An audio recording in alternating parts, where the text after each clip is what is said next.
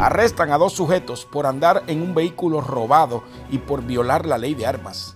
Oficiales pertenecientes a la unidad policial encargada de los carros robados de la zona de Caguas reportaron sobre la captura de dos sujetos habitantes del mismo municipio a los que le colocaron cargos por andar en un carro reportado como robado, violar la ley de armas y poseer drogas. Este suceso ocurrió el 21 de marzo durante la noche en Caguas, en la autopista PR 189. Los sujetos fueron identificados como Joseph McLeod, de 21 años de edad, y Mario Ortiz, de 33 años de edad. Se le decomisó un vehículo Mitsubishi Lancer del año 2005 color gris que estaba en la lista de vehículos robados. También se encontró una máscara color negra, una bolsa con marihuana y una pistola Glock calibre 9 milímetros sin número de series, dos cargadores con 22 municiones.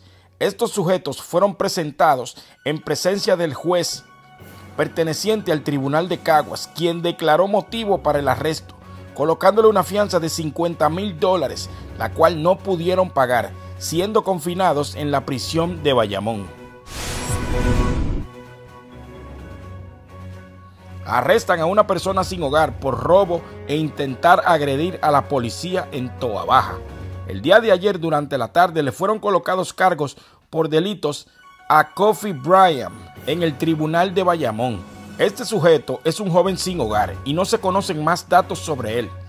Se le colocaron cargos por violar la ley de armas, portar y usar un arma blanca, obstruir el trabajo de un oficial provocando desorden público y escalamiento agravado, también robo agravado. Esto por un suceso ocurrido el 14 de marzo del año en curso. Lo que se dice en la investigación es que el acusado ingresó a un establecimiento de nombre La Cabaña Bar and Grill, que se encuentra en Toa Baja, en la avenida Dos Palmas en Levitown, donde se robó una corneta musical marca JBL, una iPad marca Apple. El dueño estimó su robo en 1.700 dólares. El día de ayer martes, mientras se llevaba a cabo el arresto, el sujeto intentó usar un machete para atacar a los oficiales. El juez declaró motivo para el arresto colocándole una fianza de 150 mil dólares, la cual no pudo pagar. Se informó Mundo X News.